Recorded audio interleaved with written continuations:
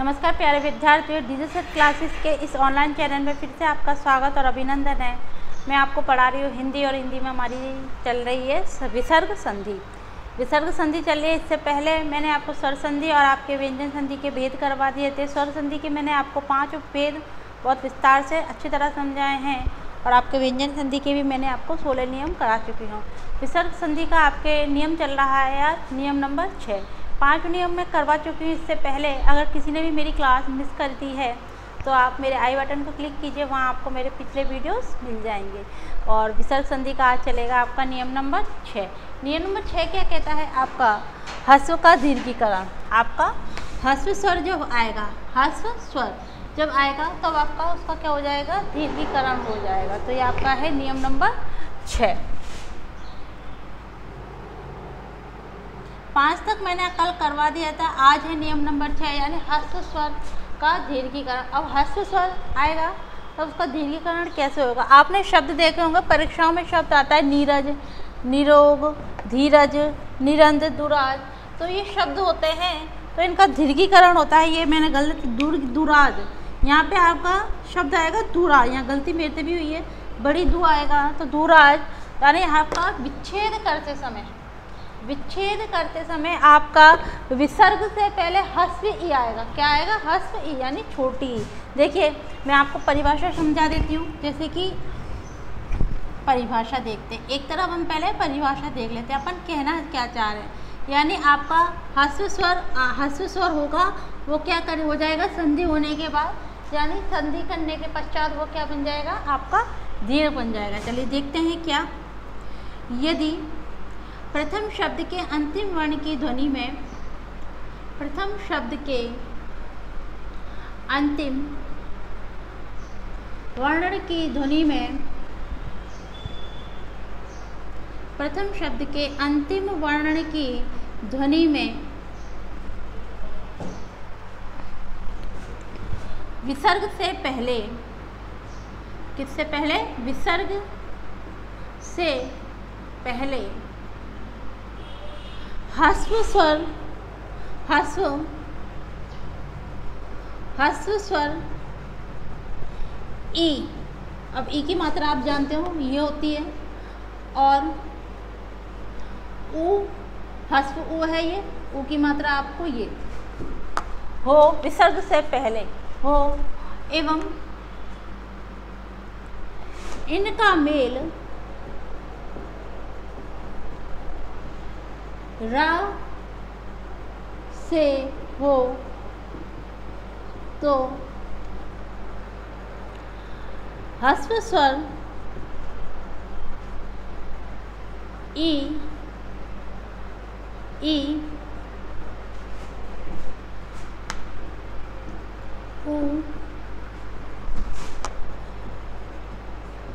दीर्घ स्वर ई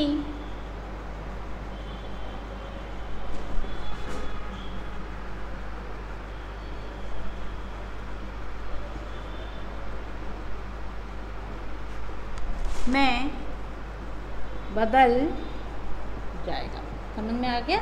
यानी अगर आपके प्रथम शब्द, देखिए, मैंने पहले शब्द लिख दिए हैं, फिर मैं आपको परिभाषा एक तरफ़ लिखवा रही हूँ, जिससे आपको अच्छी तरह समझ में आया अपन कहना क्या चाहते हैं, यदि प्रथम शब्द के अंतिम वर्ण की ध्वनि में आपके विसर्ग से पहले, विसर्ग से पहले हस्त स्वर, ई, उ, ए आए, और इसका मेल आपके किससे हो? रा से हो। रा से हो तो हस्त ई, उ मेल करने के पश्चात आपके दीर्घीकरण यानी दीर्घ में परिवर्तित हो जाएँगे। ये इसका आपके परिभाषा है। आप इसका स्क्रीनशॉट ले सकते हैं या फिर आप इसे उतार सकते हैं। इसका जो सूत्र है वो आपके क्या बनेगा? इसको पहले उतारिए। इसका सूत्र है आपका। इसको उतारिए, फिर मैं इसका सूत्र बताऊँगी आपको। जैसे कि मेरी परिभाषा में लिखा था आपके विसर्ग से पहले। विसर्ग से पहले आपका क्या आएगा? हस्व। हस्व, ई या फिर क्या आना चाहिए? ऊ आना चाहिए। हस्व ई ऊ आए और इनका मेल किससे हो? रा से हो। रा से हो, तभी आपके जो विसर्ग है, वो किसमें बदलेगा? दीर्घ में बदलेगा। दीर्घ में बदलेगा, यानी इधर की जगह आपका, छोटे ई की जगह आपके, बड़ा ई ऊ यानी इसकी मात्रा ये और इसकी मात्रा आपके ये मिल जाएगी। और इसकी मात्रा क्या थी आपकी? ये थी और इसकी मात्रा आपकी अपनी तरफ़ थी। तो आपके, जब विसर्ग से पहले आपके छोटा ई या छोटा ऊ आए और उसका मेल आपके रा वर्ण से हो तो आपके संधि करने पर या मेल करने पर विसर्ग आपके, विसर्ग यानी आपके किसमें बदल जाएगा? बड़े ई और ऊ में परिवर्तित हो जाएगा। ये अपना आपको मैंने सूत्र लिखवा दिया, इसका स्क्रीनशॉट ले लीजिए। आराम से आपकी समझ में आएगा मैं क्या कह रही हूँ। अब इसको क्या करना है? आपको छोटा बनाना है। यानी ये क्या दिख रहा है? कितनी बार आपके प्रश्नों में जब आता है, शब्द दे दिया जाता है, निरोग। मैं बार बार आपको एक बात कह रही हूँ, संधि कराते समय। कि संधियाँ आपके शुद्धिकरण का काम भी करती है। कि यानी आपको निरोग अपन कैसे देखते हैं, ऐसे देखते हैं। कितनी बार हमें ऐसे निरोग पाया जाता है, जबकि ये निरोग गलत है। शुद्ध निरोग की, निरोग क्या है ये? नीरज आपने देखा होगा, नीरज शब्द अपन को ऐसे दिखता है तो ये भी आपका गलत शुद्ध नीरज क्या है? ये है। ठीक है? यानी अगर आपको ये शब्द कहीं पे मिलते हैं, ये तो ये शब्द आपके पूरी तरह गलत हैं। जो मैं आपके लाल पेन से लिख रही हूँ, वो सारे शब्द आपके गलत हैं। निरोग तो आपने हंड्रेड परसेंट मैं कह सकती हूँ, आपने ये ही देखा है। कहीं पे भी अगर आप देखते हो तो ये निरोग आपका गलत है। शुद्ध निरोग क्या है? बड़ी ई बड़ी ई जहाँ पर छड़ेगी वही। दुराज में भी आपकी देखा होगा, आप दुराज जब करते हो तो ये दुराज मिलता है। दू यानी होता है बुरा। दू यानी होता है, देखिए ये जो दू होता है ना ये दू।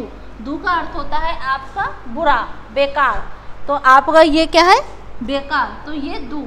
लेकिन जब हम क्या करते हैं? रा से मेल कर रहे हैं, संधि कर रहे हैं तो ये वाला दुराज आएगा। शुद्धिकरण, यानी आपका क्या आएगा?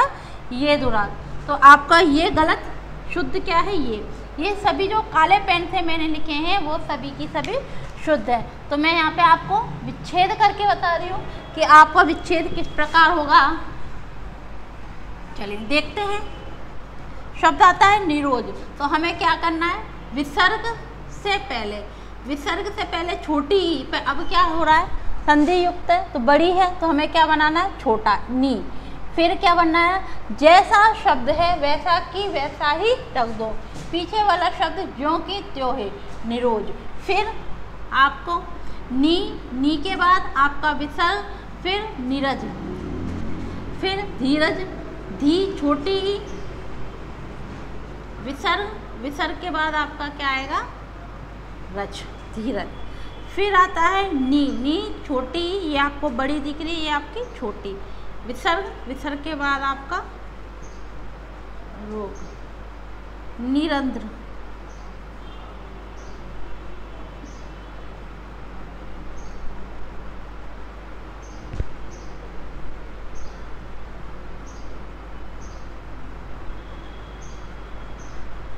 यानी अगर आपको इस तरह शब्द मिलते हैं और आप उनका विच्छेद करते हो तो आपको हस्वीकरण करना पड़ेगा।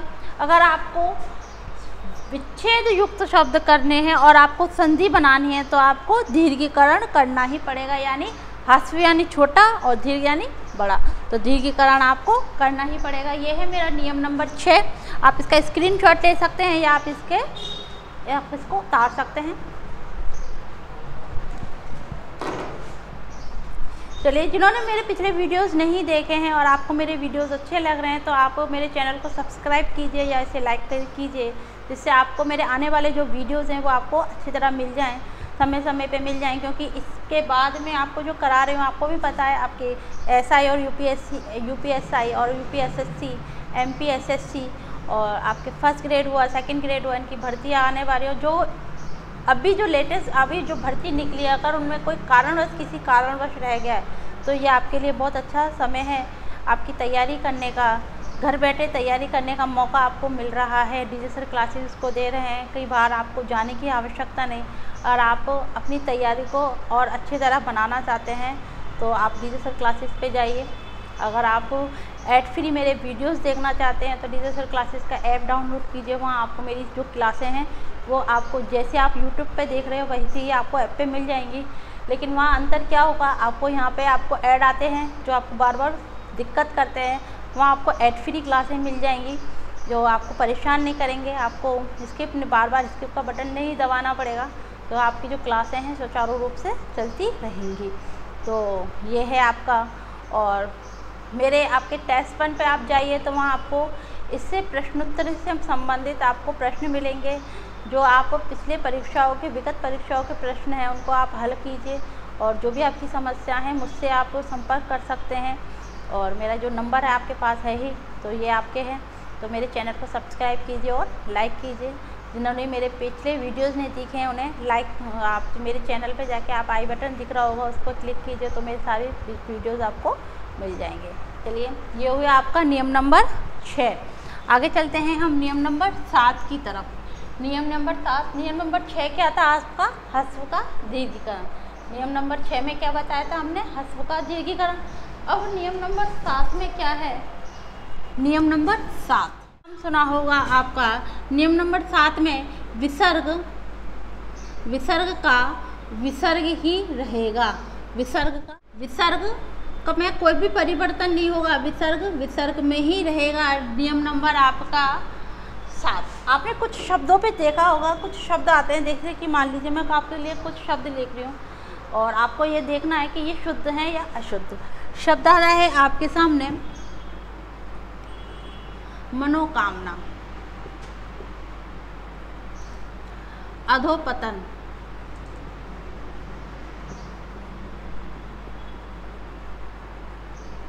पयोपान। पयोपान आगे शब्द आता है आपके पास अंतो कथा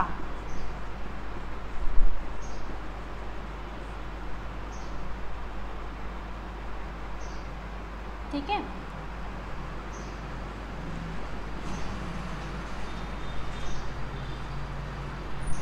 अब आपको ये बताना है, ये शब्द शुद्ध है या अशुद्ध? अगर आप वास्तव में हिंदी अच्छी तरह पढ़ रहे हैं तो आपको जानकारी होगी। कल मैंने एक शब्द लिखवाया था आपको मनोचिकित्सा आपको दिखवाया था मनुष्य मनोचिकित्सा। हम मनोचिकित्सा ज़्यादातर ऐसे ही लिखते हैं। अगर मैं कहूँ कि ये शब्द पूरी तरह गलत है, ये शब्द पूरी तरह गलत है। फिर आप कहोगे कि मैडम मनोचिकित्सा कैसे लिखते हैं? भाई, मन, मनो, फिर आपके श श दोबारा देख। शब्द आया, मना, श, चिकित्सा।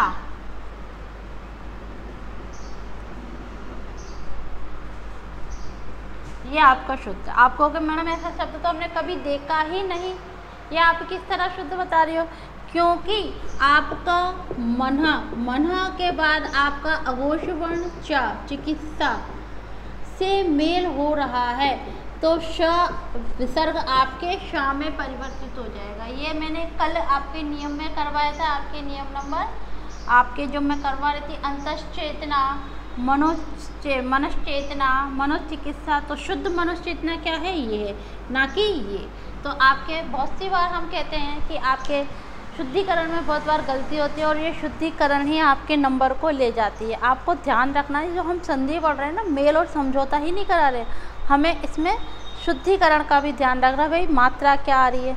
हिंदी क्या है? मात्रा बिंदी हलंत विसर्ग इन सभी का का, का संपूर्ण ज्ञान ही तो हिंदी है। और इनका आपको पूर्णतः ज्ञान है तो आपके कहीं पे भी नंबर नहीं कर सकते। तो भाई मनुष्य चिकित्सा हम ऐसे लिखते हैं। आप कहेंगे कि मैंने ऐसा तो देखा ही नहीं मत देखो, क्योंकि शुद्धिकरण आपका यही होगा। अब आपको मैंने, आपका नियम नंबर सात करा रही हूँ, आपका विसर्ग आपका विसर्ग ही रहेगा। विसर्ग आपका विसर्ग ही रहेगा, चलिए देखते हैं।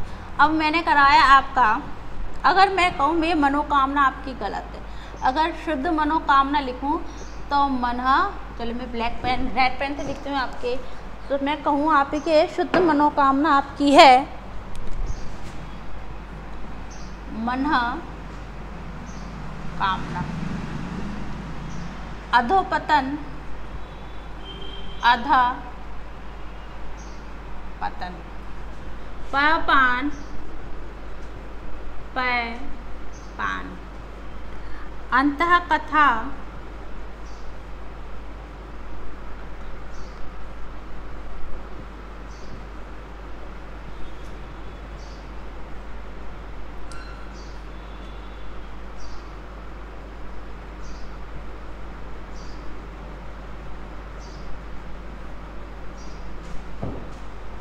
आप कहेंगे कि मैडम इस तरह के शब्द तो हमने कभी भी नहीं देखे, कहीं नहीं देखे। अच्छा आपने प्रातःकाल तो देखा ही होगा।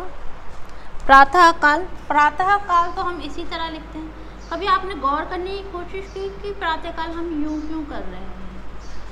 चलिए, परिभाषा देखते हैं, क्यों करते हैं? इस इस चीज़, इस जो शब्द लिखा है, प्रातःकाल तो ऐसे ही लिखते हैं, सबको ही पता है। तो बाकी शब्द तो आपने बोला नहीं देखे होंगे। उनमें थोड़ी बहुत गलती भी कर दी होगी। प्रातःकाल तो आप ऐसे ही लिखते हो। अगर आप प्रातःकाल ऐसे लिख रहे हो तो इसका कभी कारण और खोजने की आपने अगर कोशिश की होगी तो मैं उस कारण को यहाँ आपके सामने बता रही हूँ। यदि आपका विसर्ग से पहले आ और या आ वर्ण आए, आ या आ स्वर आए, क्या है? विसर्ग से पहले आ या आ स्वर आए और विसर्ग के बाद, विसर्ग के बाद का या ख का ख और आपके पापा। का ख और पापा मैंने बताए थे, अघोष वर्ण होते हैं। का ख और पापा यानी वर्ग का पहला और दूसरा अघोष वर्ण होता है। तो आपके प्रकृति भाव, यानी जैसा कि तैसा। प्रकृति भाव, यानी जैसा कि तैसा, यानी आपका कुछ भी परिवर्तन नहीं होगा। इसको कह सकते हैं हम प्रकृति भाव की संधि। अगर मैं इसको नाम दूँ, प्रकृति भाव की संधि तो इसमें कोई दुराय नहीं होगी, क्योंकि जैसा कि तैसा जो कि त्यों ही शब्द उतर के आ रहा है। ठीक है? चलिए, अब मैं इनको आपके परिभाषा लिखवा देती हूँ। परिभाषा, यदि प्रथम शब्द, यदि प्रथम शब्द के अंतिम वर्ण की ध्वनि, प्रथम शब्द के अंतिम वर्ण की ध्वनि में विसर्ग से पहले, विसर्ग से पहले आ या आ, स्वर आए। आ या आ स्वर आए एवं इसका मेल, एवं इसका मेल द्वितीय शब्द में आए। इसका मेल द्वितीय शब्द में आए। अघोष वर्ण अघोष वर्ण मैं घोष और अघोष को आपको पिछली क्लासों में बता चुकी हूँ। आपको वहाँ जाके मेरे वीडियोस देखने होंगे कि अघोष और अघोष क्या है। अघोष वर्ण का का खा का खा, या फिर आपके पा या फ से हो तो संधि करने पर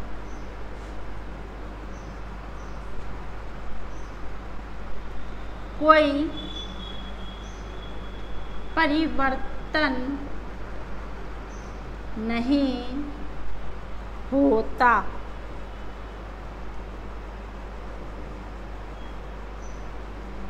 समझ में आया? चलिए देखते हैं।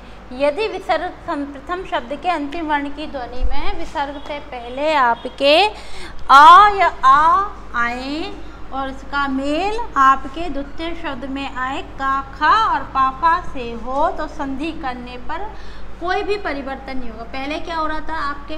भाई, हमें क्या मिल रहा था? परिवर्तन मिल रहा था। संधि क्या है? परिवर्तन है। लेकिन यहाँ हम क्या कर रहे हैं? प्रकृति भाव की संधि कर रहे हैं। यानी शब्द जैसा है, तैसा ही रहेगा। कुछ भी इसमें परिवर्तन नहीं होगा। कुछ शब्दों में हमें ऐसे शब्द देखने को मिलते हैं कि भाई ये ऐसा होगा, लेकिन ये पूरी तरह गलत होता है। हम क्या कहते हैं? मनोकामना आपके। तो हमने देखा था आपके जो आ का मेल नियम नंबर जब मैंने आपको एक करवाया था, तब मैंने अगर आपने मेरी क्लासें देखी होंगी तो नियम नंबर एक में मैंने विसर्ग को अ में परिवर्तित करा था। मैंने अगर आपने मेरा नियम नंबर, रूल नंबर एक देखा हो तो मैंने विसर्ग को किसमें परिवर्तित करा था आपके? ये है मेरा नियम नंबर एक। मैंने विसर्ग परिवर्तित करा था ओम। लेकिन इसके सामने आपकी कंडीशन थी, यानी आपके क्या थी? कुछ कारण थे। क्यों? विसर्ग से पहले आपके क्या है? आ, केवल छोटा। और विसर्ग के बाद विसर्ग के बाद आपके घोष वर्ण आए। घोष वर्ण में क्या क्या? आपका का, आपके होगा गा, घ, रा। आपके होगा चा, छा, ज, झ आपके होगा टाठा ड, ध टा टमाटर ठा ठा ढ ढ. द ध न. आपके ब भ म. और क्या होना चाहिए? आपके यहाँ होगा य, र, ल व और एक स्वर और आपके ह. और क्या होने का होगा आपके? समस्त स्वर होगा. यानी आ से पहले घोषवर्ण ये क्या है? घोषवर्ण है. ये होंगे. तभी तभी उसी परिस्थिति में आपका ये, आपका क्या हो रहा था? ओ में परिवर्तित हो रहा था। लेकिन यहाँ क्या है, अगर आप गौर करोगे तो विसर्ग से पहले आ तो मिल रहा है आपको, विसर्ग से पहले आ तो मिल रहा है। लेकिन क्या मिल रहा है? अघोष वर्ण मिल रहा है, यानी पहला और दूसरा। ये क्या है? तीसरा, चौथा और पांचवा। स्पर्श व्यंजन की आपने टेबल पढ़ी है तो यहाँ पर तीसरा, चौथा, पांचवा तो यहाँ पे ये परिवर्तित नहीं होंगे क्योंकि ये अघोष वर्ण है और आपके ओ में परिवर्तन होने के लिए घोष वर्णों का होना आवश्यक है। यहाँ हम मेल किससे करा रहे हैं? अघोष वर्णों से का, ख और पा और फा से करा रहे हैं। चलिए, इसका सूत्र है। इसका सूत्र, या कह सकते हैं नियम, यदि विसर्ग से पहले आपके आ या आ आए और विसर्ग के बाद आपका हो का का, खा, या फिर हो पा, फा। तो आपका जो विसर्ग है, उसमें कोई भी परिवर्तन नहीं होगा। विसर्ग ज्यों का त्यों ही रहेगा, याद रखना। विसर्ग से पहले आ आ, का, खा से मेल, पा, फा से मेल विसर्ग में कोई भी परिवर्तन नहीं, क्योंकि ये विसर्ग क्या है? अघोष वर्ण है। अघोष वर्ण है। अघोष वर्ण बार बार कह रही हूँ, वर्ग का पहला और दूसरे वर्ण अघोष वर्ण कहलाते हैं। तो ये अघोष वर्णों से मेल हो रहा है तो विसर्ग में कोई भी परिवर्तन नहीं होगा। यहाँ से प्रश्न बनते हैं, शुद्धिकरण के काम आते हैं। मैंने आपके सामने अशुद्ध शब्द भी लिखते हैं। बहुत सी बार हम कंफ्यूज हो जाते हैं क्योंकि हम लिखते ऐसे ही हैं। हमारी दैनिक जो जीवन है, दैनिक चर्या है, दिनचर्या है, उसमें हम इस तरह ही लिखते हैं शब्दों को। लेकिन जो गलत हैं, काले पेन से जो मैंने लिखे हैं, वो सारे गलत हैं। लाल मार्कर से जो मैंने लिखे हैं, वो सारे शब्द सही हैं। चलिए मैं इसका आपको विच्छेद करा देती हूँ। आप इसका स्क्रीनशॉट ले लीजिए, फिर मैं इसका विच्छेद कराती हूँ।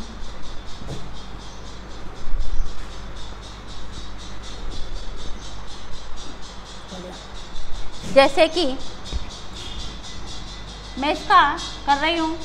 मना मना मना के बाद आपका विसर्ग विसर्ग का मेल आपका घोषवर्ण का मना। घोषवर्ण आ गया अघोषवर्ण आ गया सॉरी अघोषवर्ण विसर्ग से पहले आ की ध्वनि आ रही है। हमने आपके नियम में लिखा था, आ या आ होना चाहिए विसर्ग से पहले। विसर्ग का मेल का वर्ण अघोष वर्ण से होगा। फिर आता है अधोपतन, आधा। विसर्ग, फिर आपका पतन। पा क्या है? अघोष वर्ण पा क्या है? अघोष वर्ण का क्या था? अघोष वर्ण विसर्ग से पहले किसकी ध्वनि आ रही है? छोटा आ, छोटे स्वर। स्वर क्या है? आ स्वर है। फिर आए पया पान। पया के बाद पान। पा क्या है? अघोष वर्ण वर्ग का पहला। इसी तरह देखिए, ये आपके गलत डाल रही हूँ मैं इन पे। ये सारे शब्द गलत। अंत कथा अंत। अंत यानी अंदर। कथा। अंत कथा अतः अंतर मन कैसे लिखा था? अपने नियम नंबर जब दो पढ़ा था, जब मैंने आपको अंतर मन करवाया था। भाई, जब आपका नियम नंबर जो मैंने करवाया था तो मैंने एक शब्द भी लिखवाया था अंतर मन ये अंतर मन ये शुद्ध है। ये अंतर मन शुद्ध है। अगर आपको अंतर्मन आप ये कहीं देख रहे हो, विसर्ग वाला, इसको मैं दोबारा साफ़ सुथरा लिख देती हूँ अंत मन तो भाई ये पूरी तरह गलत है, क्योंकि कारण बताती हूँ, यदि अंत अंत के पहले, विसर्ग से पहले आ रहा है, और विसर्ग का मेल माँ से हो रहा है माँ क्या है? घोष वर्ण माँ क्या है? घोष या सघोष। देखिए, सा, मैं दो शब्द बोली, सा, घोष और एक बोल आपके सामने घोष। ये दोनों ही एक है। घोष, नाद, कंपन। कंपन सहित, सा यानी सहित। सा यानी सहित। घोष यानी कंपन। अब इसमें मैंने आपके क्या नहीं लगाया? सा नहीं लगाया। कंपन। और इसका जो दूसरा रूप हो रहा होता है, यानी अब इसका विलोम या आप कह सकते हैं अपोजिट होता है अघोष। तो वो वो क्या है आपका वर्ग का पहला और दूसरा? ये क्या है? तीसरा, चौथा, पांचवा, जैसे कि मैंने आपको बोला। तो विसर्ग, अघोष वर्ण तो विसर्ग किसमें बदला आपके? रा में परिवर्तित हो जाएगा। उससे पहले क्या करा था? उससे पहले क्या करा था? उससे पहले आता करा था हमने आपका विसर्ग से पहले केवल केवल क्या है? आय। और आपका मेल घोष वर्ण हो तो आपके ओ में परिवर्तित हो जाएगा। यहाँ आपका नियम नंबर दो है, विसर्ग रा में परिवर्तित होगा। रूल वही है, लेकिन यहाँ पे भी आपकी थोड़ी सी कंडीशन चेंज हुई है, अंतर्मन। चलिए, अब चलते हैं इसका। तप तपहपन तपह विसर्ग पन। प्रातः काल।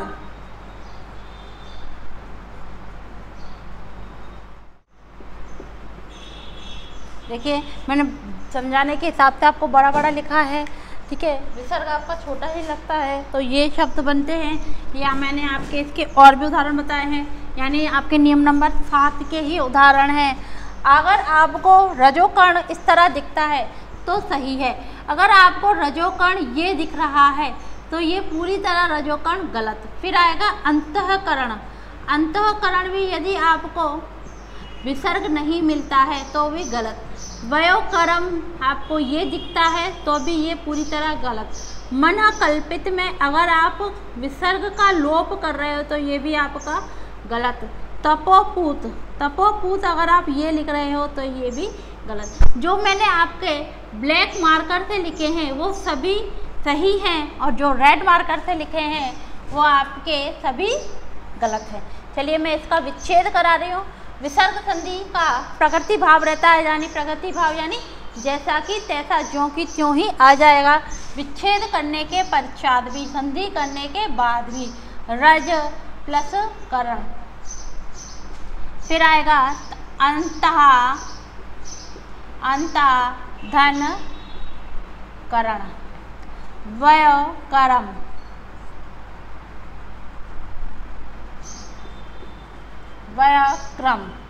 मन कल्पित मन कल्पित तप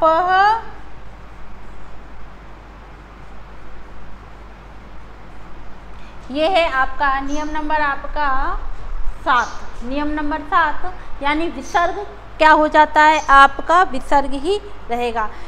चलिए, आज के लिए इतना ही। बाकी आपकी इसी इसी का एक और रूप में मैं इसको बताऊँगी। नियम नंबर आठ में, नियम नंबर आठ में क्या होता है? विसर्ग का लोप हो जाता है, यानी विसर्ग का होता है? छुप जाता है। वो ख़त्म हो जाता, लोप यानी छुप जाना, ख़त्म हो जाना। वो किस परिस्थितियों में छुपेगा या किस कारणों से छुपेगा, ये हम आने वाली क्लास में देखेंगे, ठीक है? तो जिसको भी मेरी क्लासें पसंद आ रही है, वो इस चैनल को सब्सक्राइब कीजिए और लाइक कीजिए। आज के लिए इतना ही। आज के लिए धन्यवाद।